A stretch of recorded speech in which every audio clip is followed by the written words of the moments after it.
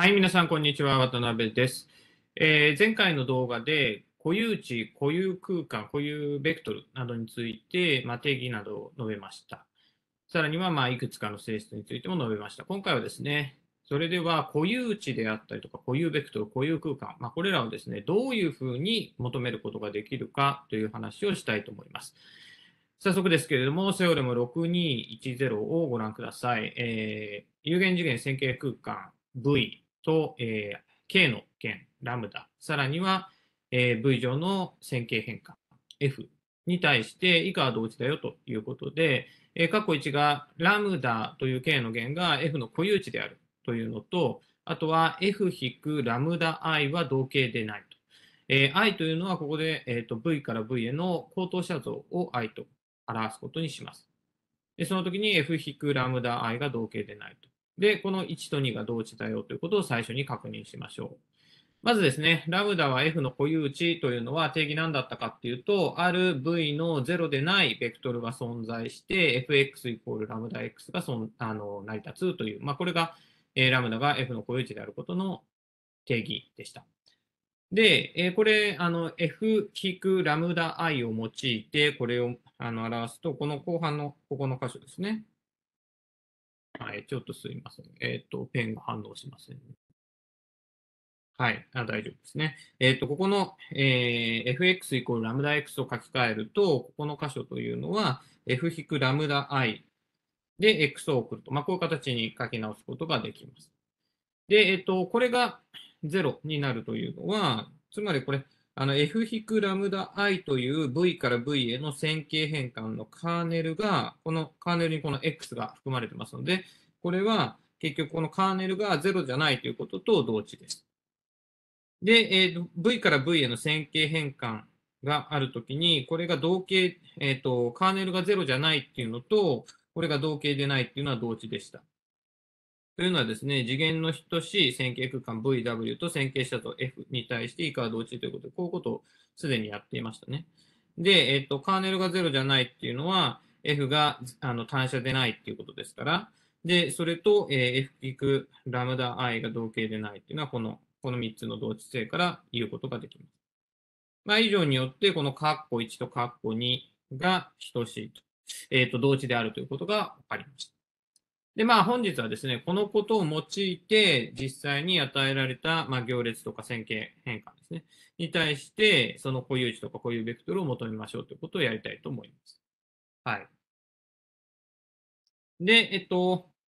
今、えっと、確認したことから、f 引く、まあ、ラムダ i というのがありますね。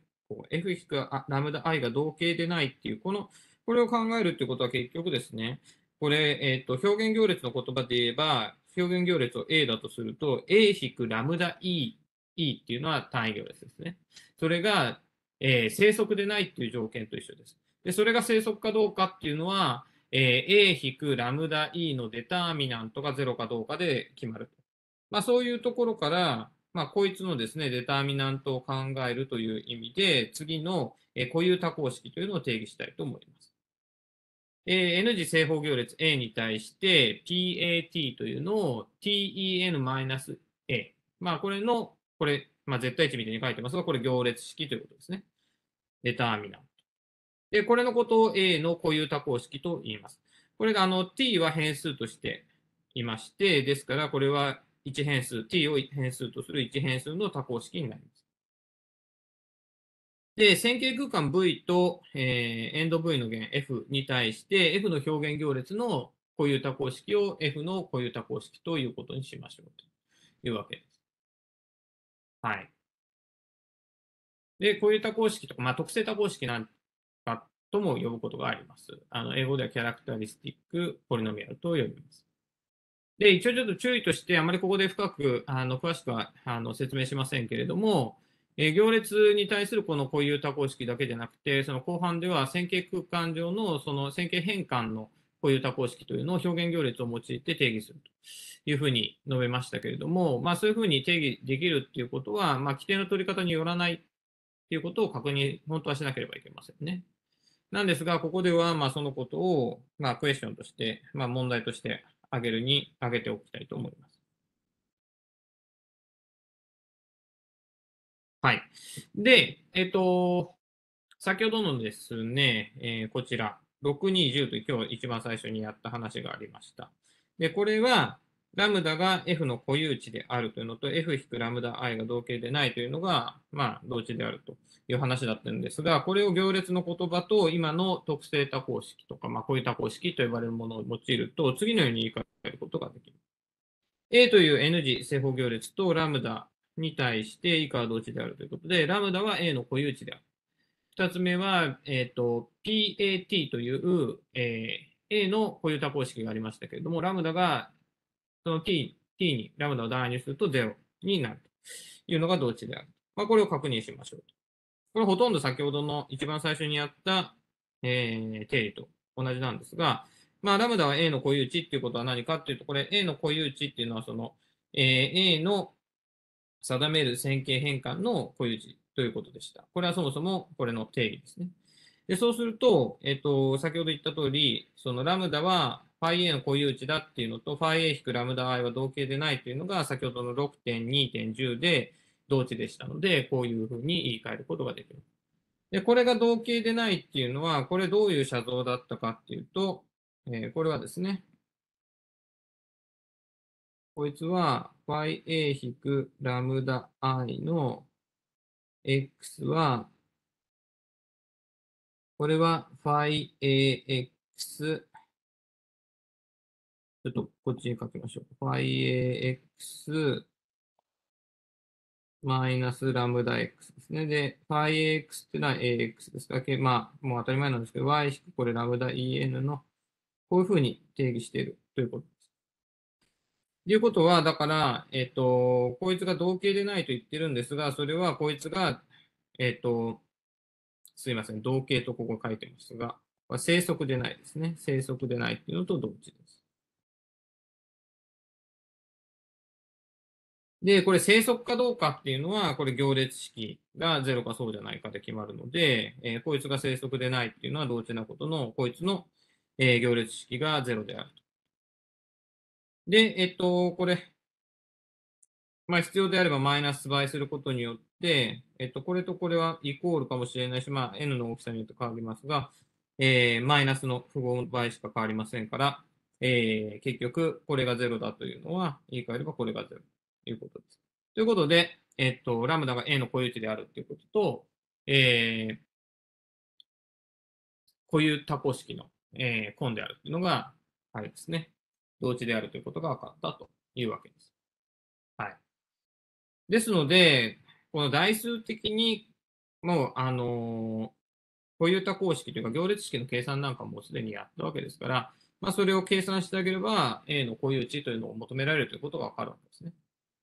というわけで、まあ、このことを踏まえまして、具体的に与えられた、えっ、と、あれですね、具体的に与えられた、え行列、まあ、ここで3次の行列に対して、その固有値、固有空間、固有ベクトルを求めてみましょう。でそうしますと、この、例えばここにあるような A という行列を考え、3次の正方行列です。これの固有値を求めてみようということで、まあ、そのためには固有多項式を求めて、固有多項式イコール0っていうのを解けばいいわけですね。ですので、まず固有多項式を求めます。で、そうすると固有多項式っていうのは te-a という、まあ、それの行列式でしたから、te っていうのは、まずだから t っていうのがここに全部入ってますね。te ですから、対角成分に t が入ってきて、他は0。で、マイナス a するので、あとは、ここのマイナス倍を一つ一つの成分に入れればよいということで、こういう形になる。で、そうしますと、これ、まあ、愚直にですね、まあ、こういうふうに計算しましょう。ここかける、ここかける、ここかける、足す、ここ、足す、ここ3つかける。で、マイナス倍の、これ、これ、これってのありましたよね。で、そのまま計算していくと、これ、まあ皆さんもぜひ自分でもやってほしいんですが、t-1 かける t かける t-3 になります。つまり、えーこれがイコール0になるっていうのは t が0と1と3ですね。ですから、A の固有値は0か1か3であるというわけです。で、まあ、このことを用いて固有ベクトルを求めましょうと。で、ax イコールラムダ x、これを満たすような、えー、ベクトル x を求めたいわけです。で、ここでラムダ0か1か3ですね。なんですが、えっと、これ書き換えてあげれば、これラムダ e3-a かける x イコール0とこう書くことができます。で、ラムダ e-3、あ、ラムダ e3-a というのはもうここで、ここに求めてますね、ここ。これ行列式ですけど、これ行列式じゃなくて、t のところにラムダを代入してあげれば、まあまさに、あの、これが得られるということですから、えっと、まず、例えば t が0の、これ0に対する固有ベクトルという意味で0の固有ベクトルと書いてますが、これを求めたいっていうときは、ここの t に0を代入してください。そうすると、ここの部分が出てくる。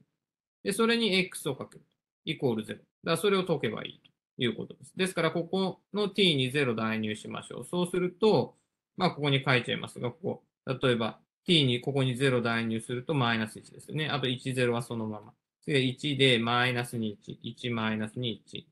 で、次が0、1、マイナス1ですね。0、1、マイナス1。はい。ということで、こういうふうにやってあげれば良い。